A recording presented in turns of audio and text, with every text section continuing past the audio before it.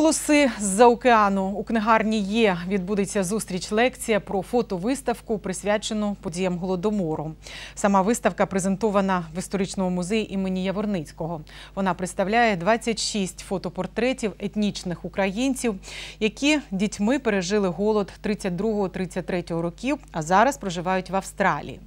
23 листопада о 18.30 науковий співробітник музею та куратор виставки розкаже про долі та сподівання цих людей.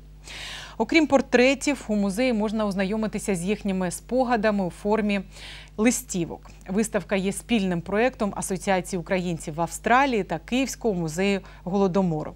Вперше експозицію показали у 2018 році у Мельбурні, а місяць тому у Києві. Переглянути виставку у Дніпрі можна до 5 грудня.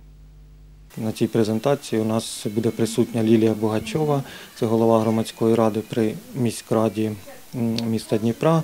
От е, вона, як ініціатор створення музею голодомору в Дніпрі, е, розповість про цю ініціативу, розповість про своє бачення, про концептуальні якісь засади, на яких планується будувати цей майбутній музей.